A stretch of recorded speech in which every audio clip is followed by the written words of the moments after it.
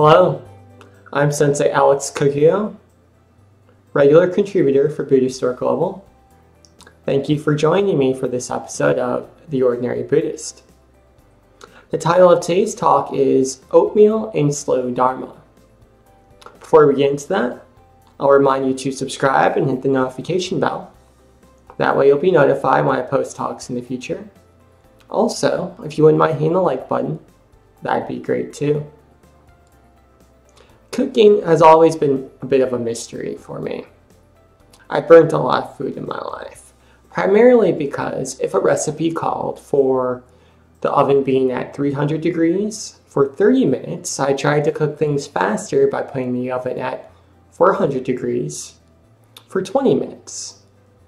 Naturally, that didn't work out very well. It was never hard to follow a recipe or to gather the ingredients, but the patience that was required to set the oven to the right temperature, to keep an eye on the food, to make sure it didn't boil over, these are things I struggled with in my youth. Thankfully, I've gotten a little bit better. And one of the things that helped me was oatmeal. Now, obviously, there's instant oatmeal that you can pop into the microwave, but I personally prefer the old fashioned steel cut oatmeal that takes a minimum of 30 minutes in order to boil. And what's interesting about the oatmeal is that if you put it up too high, it'll boil over very quickly. And there's a huge mess all over the stove.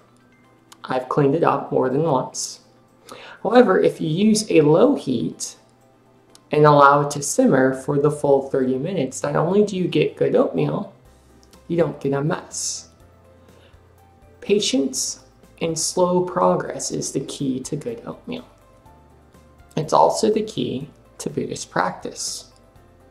Oftentimes, as Westerners, we want things to happen quickly.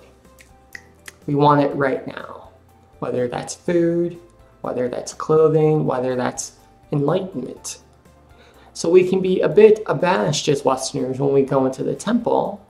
We do the chants, the rituals, the sitting, and we feel a bit better, but we don't necessarily feel this enlightenment thing just yet.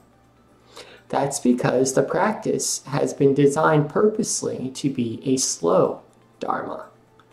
Like oatmeal, we have to simmer over time. If we cook too quickly, we burn out, we overflow, and then we don't make any progress. But if we're willing to sit for day after day, week after week, year after year, eventually will suddenly become done.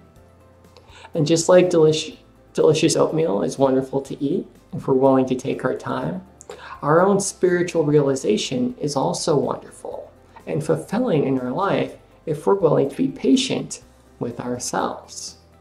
The key to Buddhist practice is not so much intensity as consistency. It's better to sit for one minute every day of our lives than to sit for one hour once a month.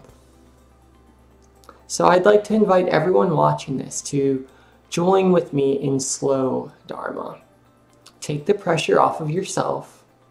Don't worry about where you are in the practice. Simply sit and trust in yourself and the training. And if you keep doing it with a low heat, eventually you'll get where you're going. Amitabha.